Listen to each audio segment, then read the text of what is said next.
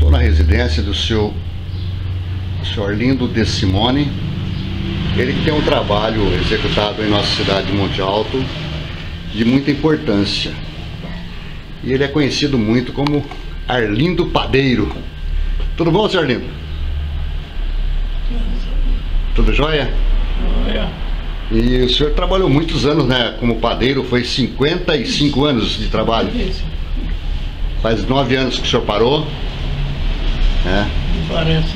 não parece, né? E que hora que o senhor começava a fazer essas entregas de pães? Hum? Que hora que o senhor começava? Ah, no começo foi, foi, não era quase meia, duas e meia, por aí, três horas. E que hora que o senhor conseguia terminar esse Aí trabalho? acabava mais ou menos por oito horas. Por, Oito da manhã. é, E ainda tinha que cuidar do cavalo, que era tração aí, animal, né? Da tarde começava de novo. Ia, ia cortar capim no cavalo, ia buscar na chácara o cavalo. E era todo dia, não tinha? Todo não- dia, Era de trabalhava. segunda a domingo. É, no começo era sábado e domingo. Foi, que parou o domingo. Sei, aí era de segunda a sábado. Segunda, sábado. Sem trégua, chovendo, fazendo frio, calor. Então perdia tempo. É, né? E quantos pães mais ou menos o senhor entregava Como é por é? dia? Por dia, quantos o senhor entregava? Ixi, agora só me apertou, viu? Uns 500, mil pães, como é que era mais ou menos? Ah, dava uns, acho que uns 300 pão por aí. Ao todo. Não dava para tudo isso, não. É, percorria a cidade toda, né? É, é que tinha bastante, né? Ah. Eu tinha, falar a verdade, eu não lembro mesmo, viu? Não lembra, né? Carregava três voltas, eu sei. Era três vezes Eu carregando. que carregava três voltas. Quer dizer, enchia aquele carrinho, Enchia, esvaziava. é, e que padaria que o senhor buscava? Era no. No começo foi o, o finado Rolando Morgado. Orlando. Onde que ficava? Riolando Morgado. Lá no. Onde, eu não sei falar, onde tem o mercadão grande lá, o. Em frente era a padaria Bom Jesus, né? É, A, a, a Cidinha, que é filha, né? É, era- era a, a, padaria Bom Jesus que, que tinha ali, não era? É. Em frente ao Savenhago ali, Sim, do sim. lado do Licinho, Sim, dentista, do lado. ali, É, né? descendo, descendo do lado, Isso. lado direito, né? É, é. Comecei, comecei lá. Perfeito. Então, três vezes tinha que ir lá buscar e entregar. Entregava lá. E o senhor entregava os pães e me diga uma coisa, tinha roubo de pão naquela época? Eu tinha. tinha E as pessoas reclamavam depois, mas vai fazer o quê? O senhor deixava a parte do senhor, né? reclamar, mas depois no fim eu tinha bastante chave dos portões. por exemplo. Ah, tá. Aí chegava na casa, abria, ponhava a chave, ponhava o tornava embora. Naquela época que o senhor entregava, tinha muitos padeiros? Naquele tempo tinha. Tinha bastante, né? Lá tinha mais uns cinco ou seis. Cinco ou seis. Mas principalmente. lembra o nome deles? Era de tudo isso eu não lembro. Não Tinha lembra, seu? Hermínio, Era o Hermindo, o finado Bolonhese, o anterior, Bolonete. Nicolete, esse ainda está vivo ainda, né? Não, não parou todo mundo. Mas Não, ele está tá vivo vivo. ainda. Ele está Ah, vivo tá. ainda. Tá. Sim. Eu, não, eu, quem morreu já morreu, tá, o Hermindo morreu, o Bolonês também morreu. O senhor Jaime o Jaime Costa, Fenerico, Jaime Costa, né? Jaime Costa, é. É, aquele O teu sobrinho, Luizinho, Luizinho, e aí morreu bastante padeiro, viu? É, né? Teve a filho do. aquele. não tinha o Fenerique? de- Tinha o do, do, do- desse terreno aí, o. o- Como é que chamava? Aquela do, do, do filho. Da Olímpia lá. E os pães, o- Era todo desse terreno aí. É, já foram vários, é, né? os pães que o senhor entregava, aqueles pães de, de bengala. E bengala, bengala é o milho de mini pão que falava. Milho, milho também, né? Aquele pão doce na época também entregava, já menos, né?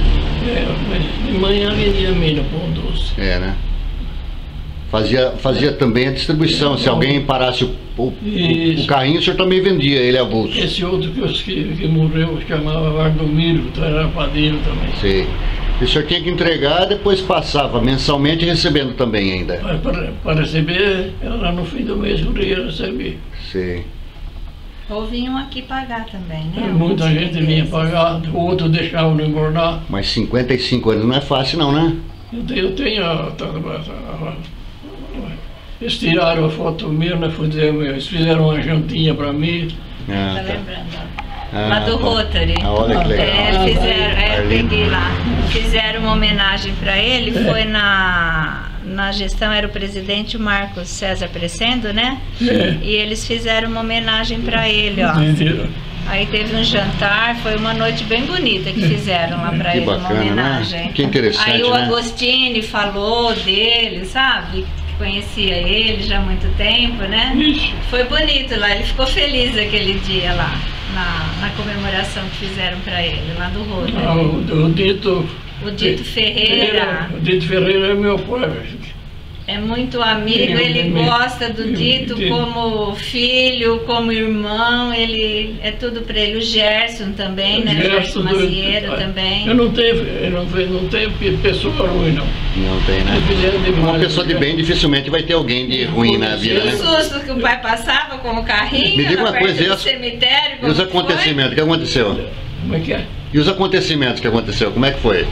Não, isso, isso aí foi uma, uma passagem que eles fizeram uma brincadeira, até saiu, não sei se saiu aí. Eles Que contaram eu, aqui. que eu passava lá na porta do cemitério, Ah. mais ou menos eram umas duas e meia, três horas, quase da manhã, que ia lá para trás lá eu ia. É, Naquele tempo não tinha nem quase Bandeirantes, luz, Conjunto não tinha Bandeirantes. Nem nada, né? É. E tinha o, o, o como é que chamava o Moreninho? Confusão. confusão. confusão.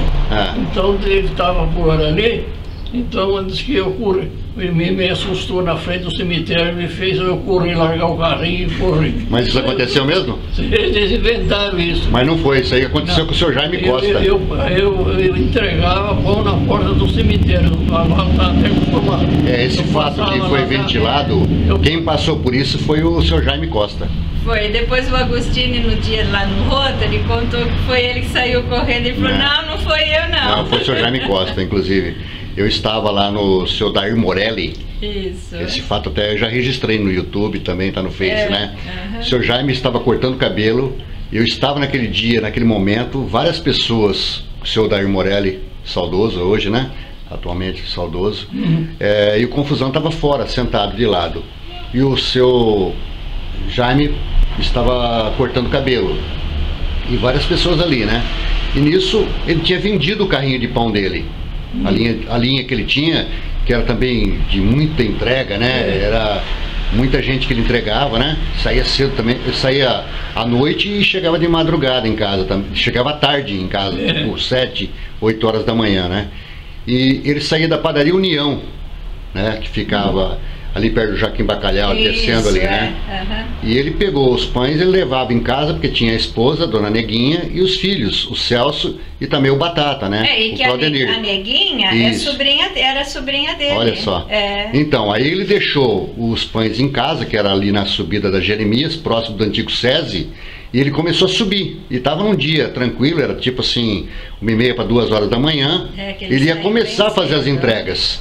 E aí, a hora que ele passou perto do cemitério, que o muro era pequeno, aí ele vinha tranquilo, não tinha ninguém, só o cavalo batendo é, é, as patas As ali, patas ali e de chão. repente saiu um vulto do cemitério, né?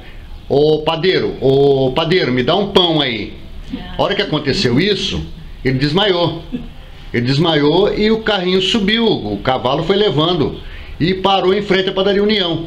Quando parou na padaria União, o cara falou, mas o Jaime acabou de pegar os pães agora, já está de volta aqui, o que aconteceu?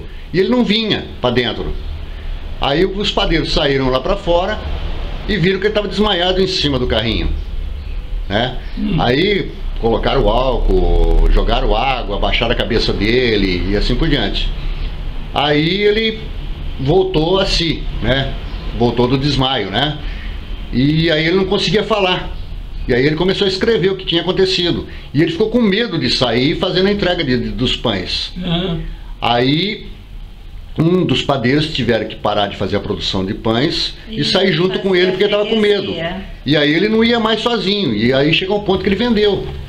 Bom, a Citinha teve que sair, então eu vou complementar a história aqui que a gente estava comentando, verdadeira, que aconteceu é, lá na barbearia, no, no cabeleireiro, que era o seu Morelli, né? Então, nisso ele vendeu a o carrinho de disse que ele não estava conseguindo dormir direito, de, de escutar aquilo e, É. e lembrar desse fato, né? Aí foi quando o Confusão falou assim: Ah, foi você, Jaime? Eu tava com fome.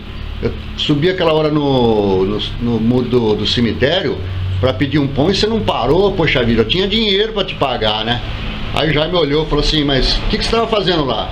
Eu falei, ah, eu tomei os negócios aí, depois eu entrei lá dentro do banheiro, dentro, entrei lá dentro do cemitério para fazer as necessidades e acabei pegando um sono. E depois deu fome. E a hora que eu escutei que tava vindo um carrinho de pão, aí eu fui em cima do muro e você não parou.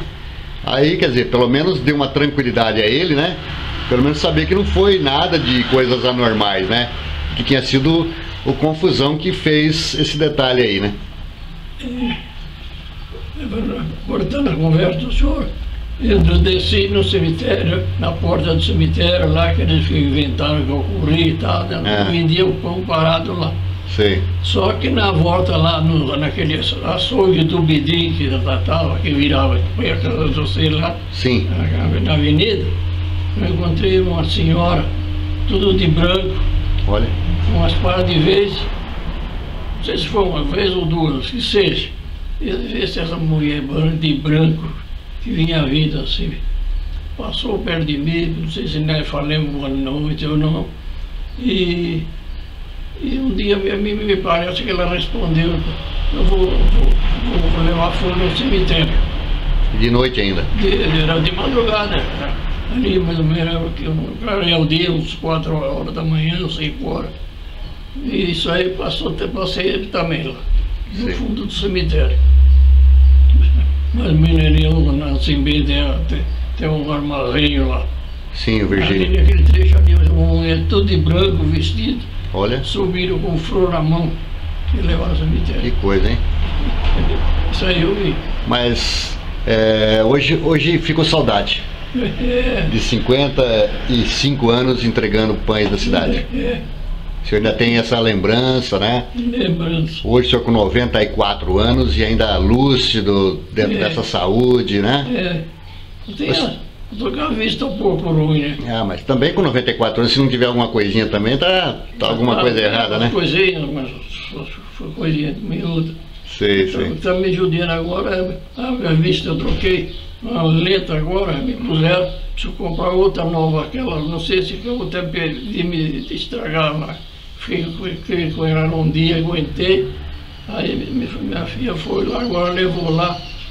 Eu, eu enxergava tudo claro, mas no escuro daqui ali não, escuro, não, dava para escurecer. Tá Era escuro. Senhor Lindo, o senhor foi casado com a senhora? A minha mulher era, era do, de, de Maracaí, Dona Maria. Ana Maria. Viveu quantos anos com ela? Ah, vou te falar para o senhor, eu acho que mais uns. Ela, ela morreu com, o quê? com 60 e tantos anos. Aí eu falei, eu acho que uns, quase mais de uns 40, 30 anos, por aí. É. Teve quantos filhos? É só duas mocinhas, A Cidinha, a Cidinha a Cedinha e a Carmen. e a Carmen. né? É. Mas tá jóia. Senhor Lindo, muito obrigado por ter tido essa atenção. O senhor nos dedicou. O senhor sabe que é uma pessoa que eu estimo muito. não te conheço mesmo, porque o tempo que eu fui lá, o senhor me fez massagem lá com a minha mulher que levava lá, Sim, deitou ela no chão, aplicou ingestão, tanta coisa, Sei, tanta agulha lá. Eu lembro disso, não sou formou um no mesmo serviço, que isso, continua. que beleza. Isso, Não. Mas tá ótimo. Senhor é magrinha. Isso. É o tempo passa. Tudo de bom, senhor Arlindo. Espero que o senhor tenha uma longa vida ainda pela frente, né? É, E que essas lembranças não se apagam, porque foi lembranças boas de trabalho, de desenvolvimento dentro da cidade de Monte Alto. eu sei que eu, tra- eu, eu, eu depois disso de vender pão por aí, eu saía ia trabalhar na lavoura, voltava a vender pão, ia, ia na lavoura outra vez, ia um arrozinho, tom- tomava a terra, pá, Que bom demais. Tudo de bom pro senhor. obrigado.